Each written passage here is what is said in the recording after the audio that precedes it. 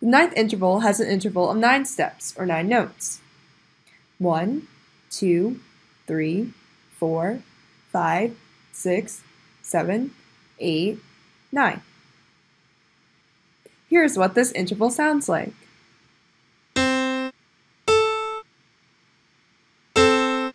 This interval is found in the opening of the song My Way by Frank Sinatra.